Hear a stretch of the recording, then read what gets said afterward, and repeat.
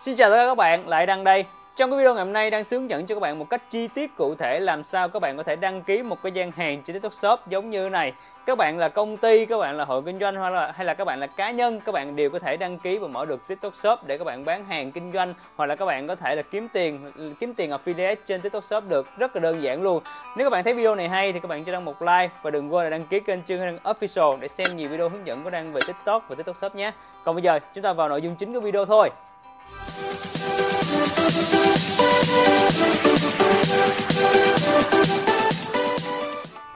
Bây giờ mình sẽ hướng dẫn cho các bạn đăng ký cái tài khoản TikTok Shop nha. Để ờ, các bạn mở TikTok Shop nha. Thì đầu tiên á, các bạn vào cái trang web của TikTok Shop Center này Thì các bạn vào cái đường link này nè. Các bạn vào cái đường link ờ, seller gạch việt nam.tiktok.com này Thì cái đường link để đăng ký TikTok Việt Nam này á Thì mình sẽ để dưới phần mô tả của video này Hoặc là ở cái phần ghi bình luận á bình luận mình sẽ ghi trên phần đầu tiên á các bạn à, vào thì các bạn sẽ thấy nha. Rồi sau khi bạn vào cái cái trang web là tiktok uh, seller center này rồi thì sau cái việc tiếp theo á, là các bạn sẽ đăng nhập hoặc là đăng ký vào cái uh, cái trang này. Uh, thì ở đây nó cho các bạn hai quyền lựa chọn nè. Thứ nhất là các bạn có thể dùng cái tài khoản tiktok của bạn các bạn đăng nhập vào luôn.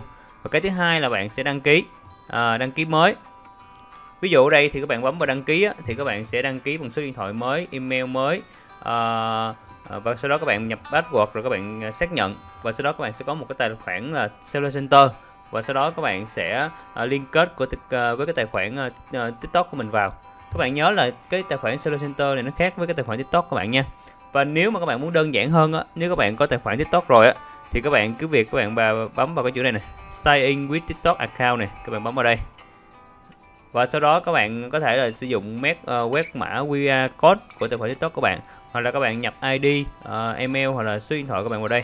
Thì cái việc tiếp theo là các bạn bấm vào các bạn uh, đăng nhập thôi. Ví dụ đây đang sẽ chọn đăng nhập bằng cái, bằng cái này. Thì cái phần này á, thì phần đăng nhập này khá đơn giản cho nên đăng xin phép là đăng sẽ cắt qua nha. Rồi sau khi bạn đăng nhập vào xong á, thì nó sẽ xuất hiện cái giao diện kiểu như vậy. À, quỹ quyền cho, cho TikTok Shop. TikTok Shop muốn uh, à, đọc một số cái thông tin của bạn á, thì bạn à, đồng ý ủy quyền á, thì bạn bấm chữ ủy quyền thôi. Sau khi nhấn chữ ủy quyền á, thì nó sẽ chuyển sang cái trang này. Và các bạn à, nhập số điện thoại của các bạn vào và sau đó các bạn bấm chữ à, send code để nó gửi mã về nó xác nhận á, và sau đó các bạn bấm net nha. Cái phần này thì à, đăng sẽ cắt cho nó qua nhanh nha. Rồi sau khi bạn xác nhận xong số điện thoại á, thì nó sẽ chuyển sang cái trang này. Uh, welcome to Việt Nam TikTok Shop Seller Center này và bấm uh, Start Selling. Ờ, thì cái này nó giới thiệu cho bạn một số cái tính năng thôi. Bạn cứ bấm code X thôi. Đây bạn thấy là giao diện bằng tiếng Anh đúng không? Giao diện bằng tiếng Anh đúng không? Ở đây thì bạn thấy là có một cái uh, góc ở đây nè có chữ in liệt nè bạn sổ xuống. Bạn muốn dịch qua tiếng Việt thì bạn bấm chữ tiếng Việt ở đây.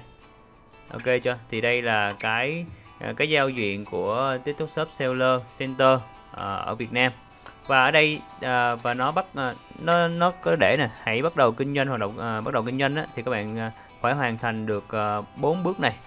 Các bạn phải hoàn thành được 4 bước này. Bước đầu tiên là các bạn phải à, tải cái tài liệu của bạn lên. Các bạn phải tải tài liệu của bạn lên. À, thì đây à, đang sẽ bấm tải tài liệu lên nha. Rồi sau đó thì các bạn sẽ có hai hình thức để các bạn lựa chọn. Thứ nhất nếu các bạn là công ty thì các bạn chọn là công ty. Và cái thứ hai nếu các bạn là cá nhân là cá nhân á các bạn không có uh, giấy phép kinh doanh hay là các bạn không có uh, giấy phép của hộ kinh doanh cá thể á, thì các bạn chọn cái chỗ uh, doanh nghiệp do cá nhân sở hữu này. Rồi cái tên cửa hàng nè bạn để để ý nè cái chữ dưới đây nè. Bạn không thể bạn không thể thay đổi kênh cửa hàng. À, thì cái kênh cửa hàng này các bạn uh, suy nghĩ thật kỹ nha nó không có thể đổi được đâu.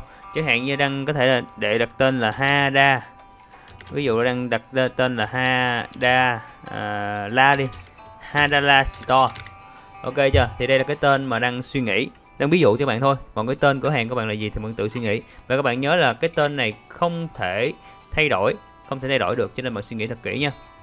Rồi à, sau đó thì các bạn à, nó bắt các bạn xác minh thông tin. À, nó, bắt, nó bắt các bạn xác minh thông tin. Thì thứ nhất là các bạn có thể xác minh bằng thẻ căn cước hoặc là chứng minh nhân dân cũng được luôn. Và cái thứ hai là bạn có thể xác minh bằng hộ chiếu ok chưa?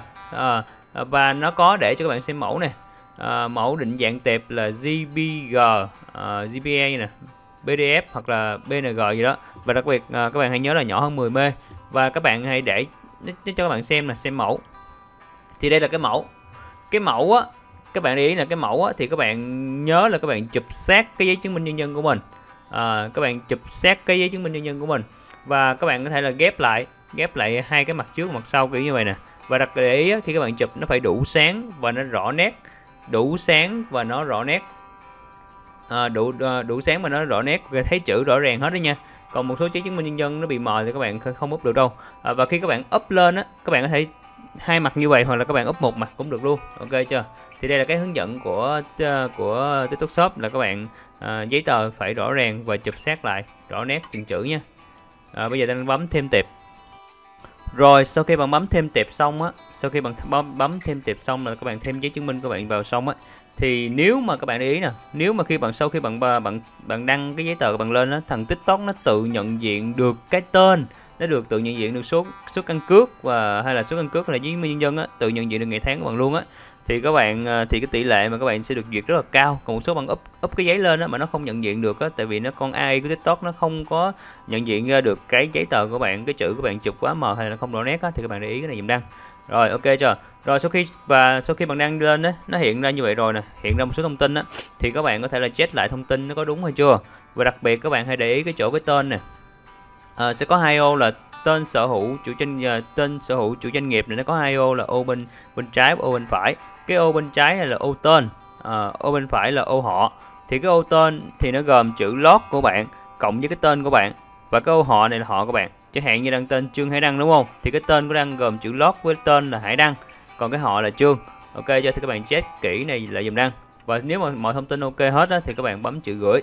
Các bạn bấm chữ gửi là ok. Và sau đó đợi tiktok nó duyệt còn nếu các bạn là công ty á, thì các bạn thay vì chọn doanh nghiệp cho cá nhân sở hữu á, thì các bạn bấm vào chữ công ty này và các bạn đặt tên cửa hàng các bạn tải cái tài liệu đăng ký công ty bạn lên thì đây nó cho các bạn xem mẫu này các bạn uh, tải cái giấy phép ờ, đăng ký kinh doanh bằng lên giấy phép kinh doanh bằng lên. Nếu bạn là công ty hoặc là bạn có thể ờ, tải giấy của hộ kinh doanh có thể lên và sau đó bạn tải tiệp lên và bạn uh, điền thông tin và sau đó bạn bạn xác nhận và sau đó chờ tiktok xét duyệt nha sau khi bạn tải tài liệu lên á, thì nó sẽ hiện ra cái dòng chữ là đang chờ xử lý. Tài liệu của bạn đang chờ xác minh ấy. Thì bạn có thể là bấm vào cái ô dưới là ô mã số thuế á, để bạn xác minh mã số thuế nha. Sau khi bạn bấm vào cái phần nhập mã số thuế á, thì nó sẽ chuyển bạn qua cái phần hồ sơ người bán nè tài khoản của tôi nè hồ sơ người bán nè trở thông tin doanh nghiệp ấy. À, thì một số bạn các bạn không phải là công ty các bạn không không có mã số thuế á, thì các bạn chọn chữ không này dùm đăng nha. Các bạn chọn chữ không muốn vào chữ không. Tôi không muốn sử dụng tính năng lập hóa đơn hay là hay là khai báo thuế gì đấy. À, thì các bạn có thể bấm vào chữ không đây. Thì ờ, sẽ ờ, các bạn sẽ không bị yêu cầu nhập mã số thuế nữa nha. Sau khi xác minh mã số thuế xong á, bạn bấm vào cái phần liên kết ngân hàng á, để thêm số tài khoản của mình vào. Và các bạn lưu ý á, cái người đại diện số tài khoản á, thì phải đúng với cái người đúng với cái tên của người đăng ký nha. Như vậy TikTok nó mới duyệt nha. Bước cuối cùng á, sau khi hoàn thành ba cái bước trên á, là các bạn bấm vào cái phần thêm sản phẩm bạn có thể thêm cái sản phẩm đầu tiên của mình ờ, đăng sản phẩm đầu tiên của mình lên được rồi à, còn cách đăng sản phẩm như nào á, có thể là cái video sau đây sẽ hướng dẫn cho các bạn cụ thể nhé cho nên các bạn nhớ đăng ký kênh mình ha Cảm ơn các bạn đã xem video rất nhiều. Đang có một nhóm Zalo hóng TikTok Shop chuyên chia sẻ về những cái thông tin mới nhất về TikTok và TikTok Shop. Bạn nào quan tâm thì để đăng để link dưới bình luận nha. Còn bây giờ thì xin chào và hẹn gặp lại.